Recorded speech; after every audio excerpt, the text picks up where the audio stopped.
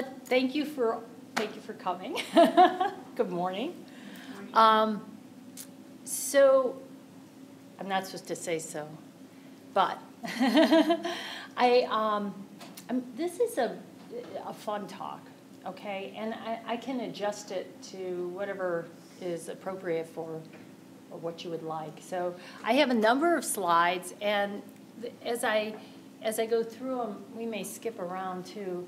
Part of the talk for me is encouraging all of physicians to be clinician scientists because I think that we owe that to our patients, and I also think that science and medicine lend themselves very much. But anyway, how how many here have do science? Yeah. Pardon? Yeah. Right, but are you currently? Yeah. Yeah. Okay. Are you working with? With, with Dr. Bernstein. Okay. Are you? Have you or I've are you? done clinical research, but I haven't ever done bench research. Okay. And Reese, I know that you you've done clinical. Have you also done? Yeah, I did a, I did a lot of bench in undergrad and That's right. That's right. I do know that. And and so um, how, now that all of you have either done or are involved in science, ha, does anyone feel like they never want to do science again? Has anyone had an experience like that? Good. That's great. So um, science, as a clinician, um, I think it's it's important. Medicine naturally lends itself to scientific inquiry, right? Where when when our patients are doing well, science provides a method that to test ideas without experimenting, you know, on patients, but can provide the best management. And um, there, there's a lot to do in science. It doesn't mean you have to be at the bench. It doesn't even mean you have to be in a clinical trial. I mean, there, there's scientific inquiry that can be done regarding qualitative type of assessment, how patients, how to best um, um, help a patient to have a better management strategy or finding out what the barriers and incentives are for patients who, you know, where, for example, where you know that something is valuable. An example would be diabetic retinopathy. We know that diabetes causes blindness and that if patients have yearly eye exams, we can, and we detect diabetes, diabetic retinopathy early, that we can prevent blindness in over 90% of patients, right? But the compliance with yearly eye exams is like 50% nationwide. So we, you know, what can we do? Why is that? That's an, an area of science. That's a way of doing scientific inquiry too. So many people have reasons to to go to science, to make a difference, to provide better treatment or care, to be involved in the cutting edge you know, what's the newest type of technology for patients or um, to evaluate disease. You can also be involved by in being able to evaluate manuscripts critically. So I'm thinking in your careers as you get out, there may be periods of time where you really focus on clinical work, and and that's fine. You can still be involved. Hi, you can still be involved in um, science, because you use, you bring to a manuscript that you're reviewing that critical scientific technique. And then a need that is unmet. And it can be, you know, anywhere, including health literacy, for example. And those are sort of the altruistic reasons that we think about doing science as a clinician. But there's other, there are other reasons, collegiality. You know, one of my, uh, you know, some of my favorite people, the people that I identify with, are those on study sections when I go to review grants for NIH. I feel like I connect with other scientists and clinician scientists there. Um, and we get together and we talk about science, but we also talk as friends. Um, increased knowledge in our discipline. Uh, we can also be involved in other non medical disciplines through collaboration, biomedical engineering, for example curiosity to know more um, and understand more than what is known. And then travel.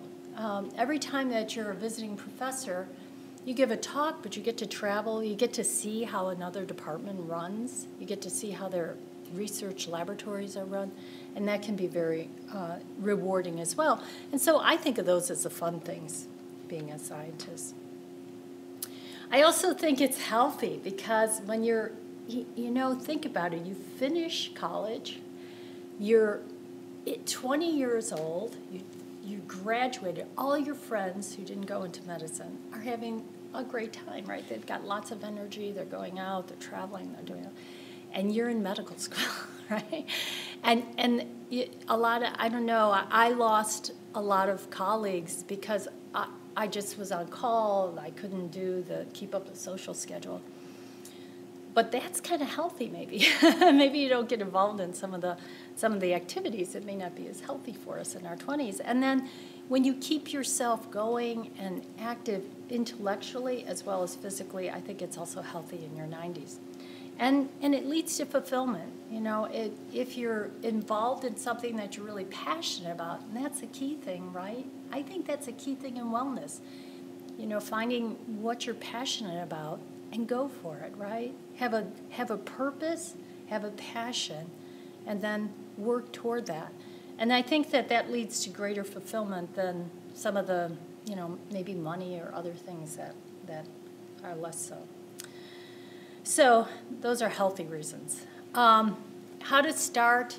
You know, I, I don't know the end. I change this all the time because I used to say just you know get involved in research, get involved with somebody that you want to you think you might want to be like or, or at least learn about how their, how, how their life is.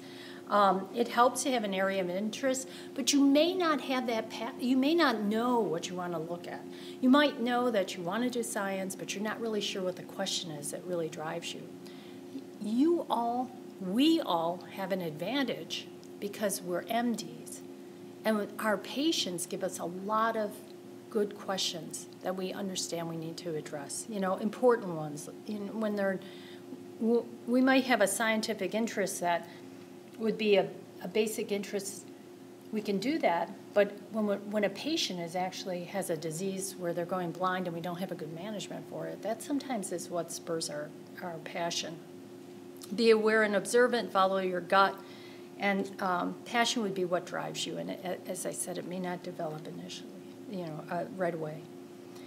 So figure out your goals, and sometimes these evolve over time. You can have a lab, um, you have to get funding, but the good thing about getting your independent funding is you can ask the questions you want to ask. Once you have funding like that, you can do that. If you're involved in industry, that's fine, but usually you're do you're answering questions that industry wants to answer, and it's a different. It's really a different. It's a different way. The questions are often business model, whereas in science you're going to talk about hypothesis, which we'll talk about a little later. You can be involved in clinical research. You can simply be contributing patient samples. That's another way that you can be involved. You can develop a new technology. So a lot of ways that you can do this. Clinical research, there are Masters of Public Health degrees, K23s are through NIH that can provide um, funding. Technology, SBIR, STTR through NIH, industry related. And basic or translational labs, there are independent funding sources through K08s, R01s, there are a number of different awards through NIH. And if, if anyone is interested or would like to talk, I'm happy to talk to you individually as well. And the key is you want to develop, you, your passion allows you to continually learn. So, what I like about science in my career is we all have patients where we start a management and we're worried about that patient. We have to give it time to see whether or not whatever management strategy we're doing is helping the problem. During that time, you have to be patient about it, but you're still thinking about that patient. If you then have to be pulled away, bless you, to the lab, you're all of a sudden focused in the lab. That gives you time. you can let your patient go. So, in a way, even though you're really pulled in both directions, it allows you to, I think, be able to have um, a help. It, it's it's a better situation. You can actually give time for your patient to get better. Same when the lab doesn't work out, you've got your patients that, or if you have an experiment running, you've got your patients that can keep you um, keep you going and interested. So this is a guide to management um, that can be useful if you're interested in, in labs. Um, I think this is probably so. For me, one of the most important things is it's important you find your passion. It's important to be impatient in that you're always trying to work toward that. For me, it was a laboratory. So I'm always always was working on that. But you also have to be patient because you can't do everything at all, all at once. So you may be in your residency and you're struggling with how can I learn ophthalmology, which is so new, so different than medical school, right? It's like a it's like going to medical school again. How can I do this? Learn all my skills, be responsible to my patients. How can I do science? Maybe you can't. Maybe the way you do science then is critically review papers, reading the literature. You're still keeping scientifically active. You're looking at things, maybe developing that passion you have, that what you want to do. But you're you're focused on what you're doing right now, which is residency. You're learning to be a good doctor, and that's really important. So I, I don't think you have to feel like you're all over the place. Um, I think it's it's fine to if if if the opportunities are there and you need to uh, spend more time doing clinical stuff, you can do that in it and pick up science at a later time. But it also helps to to have kind uh, like a five-year plan or an independent development plan, so that you because time flies. You, you know, all of a sudden you wake up and you say, "Gosh, I never got to do that." And if it's something you really want to do, if you put that in your long-term plans and then look at what you've accomplished each year toward that, that goal, that can be very useful in seeing if you're keeping on the same track. You may change, but it also allows you to see what you have been accomplishing. So, um, mentors. So you mentors you're going to develop throughout your life. It's it's I've found that it's rare that you have one mentor. It's usually that people have multiple mentors depending on what those mentors provide.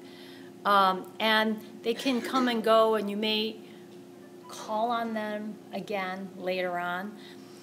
I think trust is essential, confidentiality. You want those kinds of things in a, when you're choosing a mentor. And I believe that if you are an MD, I think it's really helpful to have an MD. At least, you know, you may have PhDs as a mentor, but you should, I think, also have a mentor who practices medicine. Because there are some stresses that come, that you have as a physician that um, people who aren't in medicine don't quite understand, you know, and, and it's helpful to have somebody that can give you some tips on how you got how to how to move through that.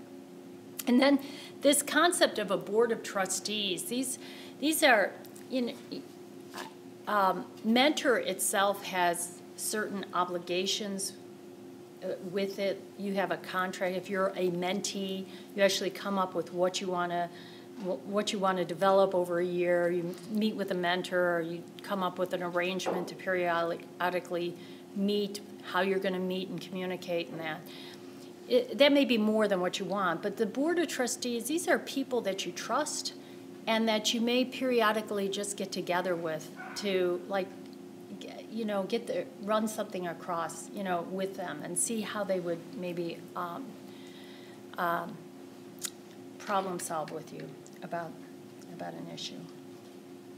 Uh, various types of research. It can be exploratory, which is hypothesis generating, and this can be clinical, basic science, population studies, or mechanistic, which is hypothesis testing. Again, same areas. Um, the, there is, I think, an important point that I want to bring up, and it, I think it, it's important in ethics.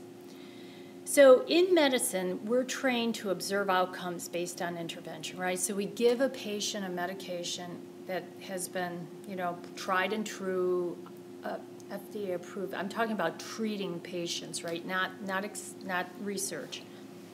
And we follow that patient over time. In science, we really have a responsibility, not in clinical science, but in basic science, not only to find out whether another no, not something is sufficient for an outcome, but whether or not it causes it. So we actually take it away and see whether or not we get back to the original baseline that we had. And, and that rigor is important and is evaluated in funding. But we wouldn't do that in patients, right? And then another thing about um, um, the, about medicine too is we, we can't experiment on our patients, right? And the purpose of an IRB, we might think that this is the best thing for the patient. And part of the purpose of the IRB is that you get a non biased, you get an objective group of people looking at what you're suggesting and actually giving you know, advice and saying, whoa, this isn't safe or whatever. So, you know, remember that. Sometimes you'll see um, behaviors that suggest that it's okay that, that people, you know, people make huge uh, um, discoveries by experimenting on patients, but we always have to remember to be uh, very ethical with our patients. And all science has exploration as part of it. So even though we, we're going to talk about hypothesis, we always are exploring, we're always learning from, from science as well. So it, if I get I want to make sure that we understand the difference between clinical care and science, and I know I'm going to be going back and forth with that a couple times, so if anything isn't clear, let me know. Um, clinical care, we don't experiment on patients. If we, if we are doing clinical research, we have an IRB, we follow certain protocols. If we're doing science, that's different that's different, and we have a certain rigor in the science and responsibility to actually test hypotheses as well as explore. So these are examples of exploratory research, qualitative study assessing barriers. I just mentioned that.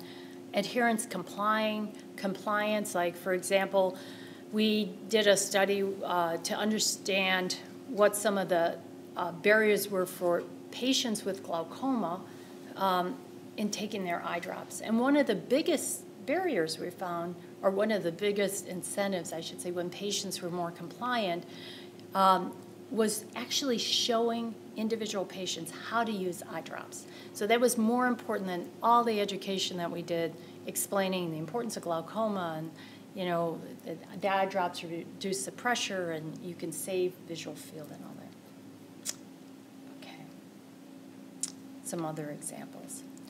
So, mechanistic studies, clinical mechanistic studies, are usually not really possible. I mean, because we, as I said, you can't you can't give a patient something and then take it back, and you, you can get at a hypothesis, but you can't like if we give if we give patients AREDS formulation for macular degeneration and have outcomes, we can't really test what effect it has on the RPE. We can we can look at things and see associations, but we're not really testing the mechanism of what's going on. Um, whereas in, in, basics, in basic research, um, we can, and I'm going to give you some examples here.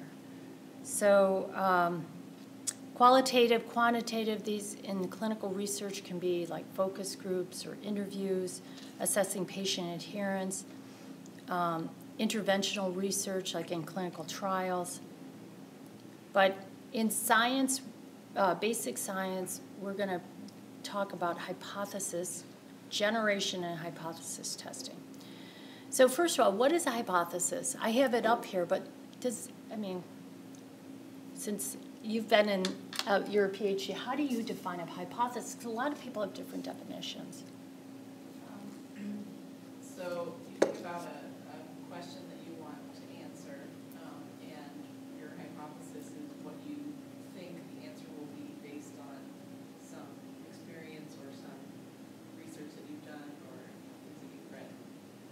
That's right. Just right, exactly. It can be very broad, and it tends to be in biology, right? It tends to be in humans. So a hypothesis is not. We want, you know, we think mice exposed to oxygen will get retinopathy. It's it's something, for example, in in a human being, an ROP and retinopathy. So a hypothesis, it's framed based on our observations, or it can be past data, as you said, or past information. So poor postnatal growth causes aberrant developmental angiogenesis in ROP. That could be, you know, that could be a hypothesis. And angiogenic inhibition will change the natural course of diabetic eye disease. That could be a hypothesis. But it can be stated, I mean, it can be framed as a question too. Does angiog- do angiogenic inhibitors change the natural co- co- course of diabetic eye disease? And that's in contrast to an aim. So, an aim, this is more if you're thinking about or if you're writing uh, grants, you have a hypothesis which is based in nature. And then your aim is really based on experimental design, right? So, so how you plan to test the hypothesis. And you might use an animal model, for example, in the first one with oxygen-induced retinopathy. And the animal model you already know reduces the weight in newborn animals, and then you might test the effect of some agent or genetic manipulation to see whether or not you can increase the weight of the animal with that. That could be, and, and whether or not that affects aberrant angiogenesis. That could be an aim to test that hypothesis, the first one about aberrant angiogenesis. Um, or you find a protein involved in body weight gain, and you compare different groups using knockout of protein X. That could be another you know, more of a rigorous genetic approach to test the same hypothesis. Does that make sense? So uh, a clinical a clinical aim might be looking at same things among premature infants. Assess the incidence of severe ROP in those born between 1,000 and 1,500 grams birth weight compared to 500 to 999 grams birth weight. So that would be, and you, what you're doing there is you're observing and you're comparing two different groups, right? Okay. So it doesn't test causality. Does, does, so let's talk about that. I mean, what is what's the difference between causality and association rates? Like, how would you? So, you know, just the fact that you're low birth weight doesn't necessarily there, there could be something else that's actually associated with low birth weight. So if they're low birth weight, maybe their, you know, their, their gut isn't producing right. a certain protein that they need for angiogenesis. Or, right, and they may they may also just have this eh, association. Like I think of um, the the eye disease case control study was a study done pre-AREDS, and it was. Um, it was a cohort design where they did nutritional surveys on patients who had uh, macular degeneration or not. And that was really the, sort of a landmark study that found that patients who had carotenoids or greens in their diets had, were less often to have severe AMD compared to those who didn't. And they, by, by this nutritional survey, they were actually able to get down what what vegetables, like collard greens and spinach, and those were good things, right? But one of the vegetables that kind of fell out and was surprising to people uh, was tomatoes. And, but, but tomatoes are also in pizza. So, you know, so it's an association study. It did not prove that taking, that eating spinach reduces macular degeneration. It just said that people who had this kind of diet were less likely. And then the clinical trial, the age related eye disease study, was a clinical trial to really test whether vitamins, supplementing many of the things that were in the um, uh, vegetables, shown to be associated with less AMD, that, that they were effective in reducing the incidence. Okay, good. Um, experimental designs. These are just uh, it, these are some examples of what to do early on. Address a hypothesis and aims. You know, what study do you want to do? It's really helpful to meet with a biostatistician early because they can actually help refine your hypothesis based on how many. You know, if you if you go up to a, a biostatistician, you want to test a hypothesis and you find out you need like 10,000 patients to be able to get an outcome. Well, maybe you need to refine that, especially if you only have a year to enroll. It's not, it's not feasible. But there may be other ways that you can um, still get at your question. So your question may be too broad. You know, you may need to focus in a little bit. And as you get more information, that helps your overall sort of hypothesis. Develop, develop, develop a collaborative team. That is really, really important um, to, because uh, more than more than ever, we are.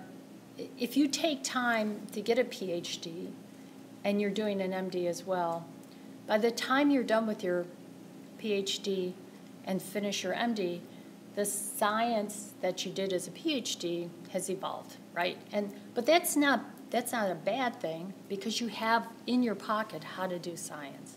So you just have to research, figure out where you are, and but some things you will not have enough time to become expert in.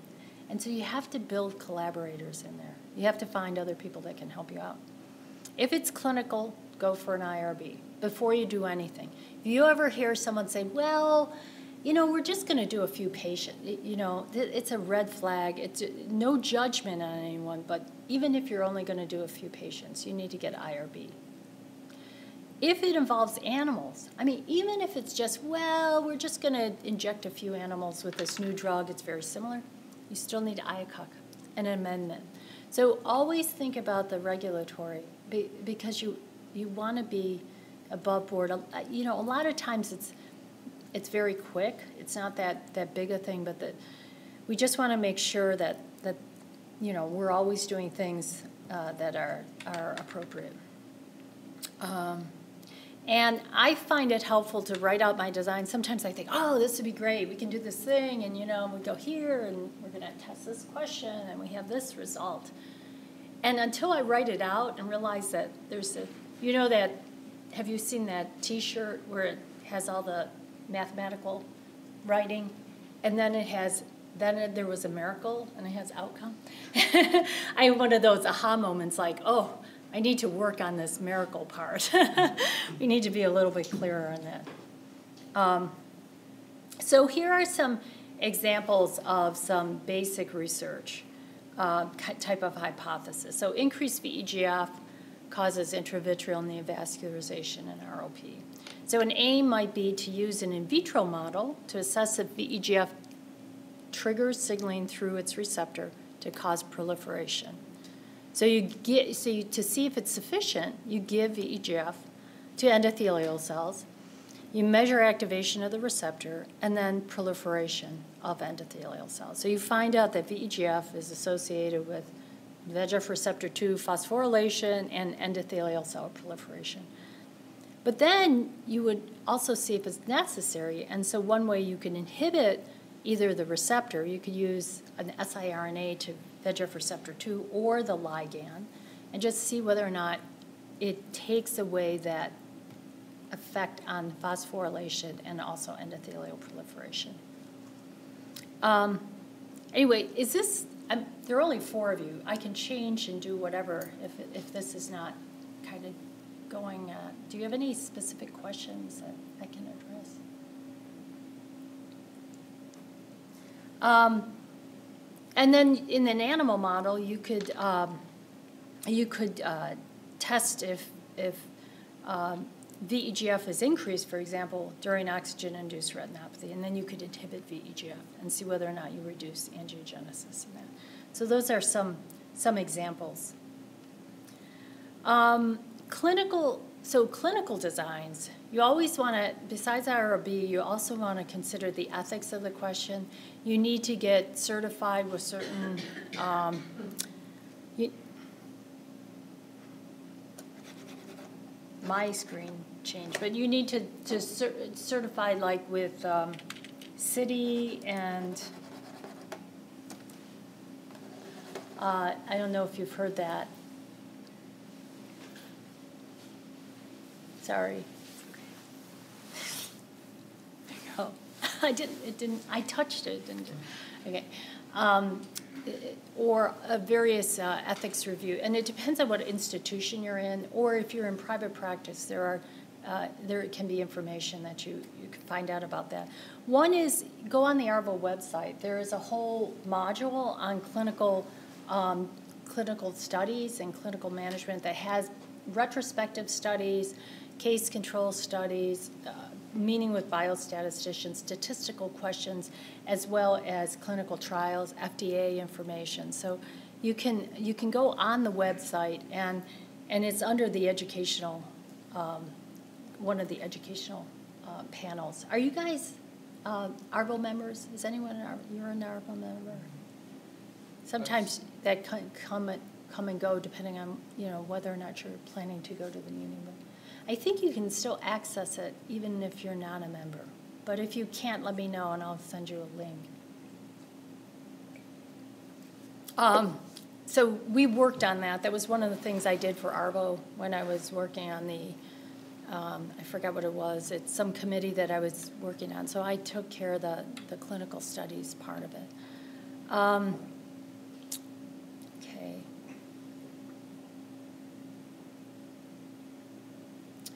So these are sort of very specific kind of information, randomized control, work with a biostatistician up front.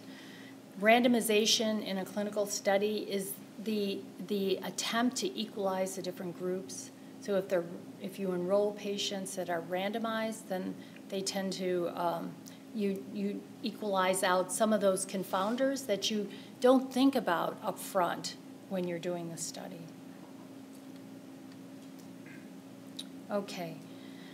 Let's go on to abstract, and I'm going to ask you to work together in groups to write an abstract also. So, an abstract, uh, the important thing whenever you're writing a paper, an abstract, is to read the journal or what the guidelines are for that abstract or journal up front. So you know what, what it is that they're, they want. Some will ask for structured abstracts where they have a purpose, methods, results, conclusions. Others ask for not having that, and then you just write, but you still want to put all that information in it. But it still comes out a little different uh, based, uh, the, the writing is different. So it's important, you know, have an idea is it 300 words, is it 500 words, is it 150 words? Like when you're writing an abstract for the academy, you have to keep within, what is it, 90 words, I think?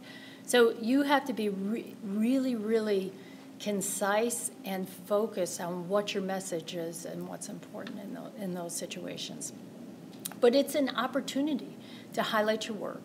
And, and, and sometimes in an article, it's the only thing that somebody will read. So spending time on the abstracts really, really important. Um, you want to be accurate you don't want to overstate your conclusions. When you're when you're submitting something to ARVO, that's one of the like red flags. If you say say you do a, a study in cells and you're testing the effect of certain um, angiogenic substances on endothelial cells, and you find out that substance X causes angiogenesis and your inhibitor inhibits it, you don't want to say we're ready for clinical trial. Conclusion, we're going to do this in clinical trial. And sometimes you can say things like, you know, this may be important, you know, just being a little bit careful about that, or this provides insight, you know, whatever the conclusion can be. Um, so your your purpose, this is how I like abstracts to be. Your purpose is not to write the background and introduction. You need, purpose should be no more, in my estimation, than three, three sentences. And, and that's the way ARVO guidelines are. And they're like that because I helped write the abstract guidelines for ARVO too. So you provide just a brief background of the area and the gap in knowledge. Um, uh, ROP is a leading cause of childhood blindness, but little is known about um, the characteristics of the microbiome of babies who get severe ROP. That might be, you know, that has a purpose. A concise goal of the study and maybe the hypothesis, and then type of research study to clarify. We so to address so our hypothesis was that, uh, that bacteria of a certain uh, strain was more associated with severe ROP. And to test this, we um, reviewed microbiome data. We did an observational study of microbiome data in premature babies. You know, so you know it's clinical, you know that it's observational study. You gave a little information about why you're doing this study. The method should be clear and succinct descriptions of what you actually did, the experiments performed, and should include any controls or comparisons, right, of the experiment group. You know how you, you know what was what was the, your what was your question? What was the study design? You know, you had babies that were under maybe a thousand grams or under between 500 and thousand grams. You had babies over thousand grams, or you had um, uh, maybe you started out by the microbiome, babies that had this type of bacterial um, strain versus this, this type of bacterial strain, and looked at the severity of ROP. Your results should have quantitative data with statistical information, standard deviation error, p-values if appropriate. This is where your biostatistician helps you. Um, and then the conclusion should address the question hypothesis. So, you know, it's, it's if your hypothesis is we, we propose that certain microbiome uh, strains was associated with severe ROP, um, then you, you would say how your conclusions reflected that. If, if they did, and if, if you didn't find something, you can conclude something else, but you can say, you know, you know, more, more information is needed before this kind of assessment would occur. Okay, so we're going to go through all this. So independent development plans, there are a lot of different kinds. Here's an example of one. You know, and, and again, you can also just do five-year plans. But I think it's very important to have an idea of what your goals are. You can include on this personal this is yours to keep, but it can be personal goals, it can be um, career goals, it can be, you know, social goals. I don't know, you know, a number of different things, and and you can share them with your mentors or not. I mean, this is just for you to be able to develop that.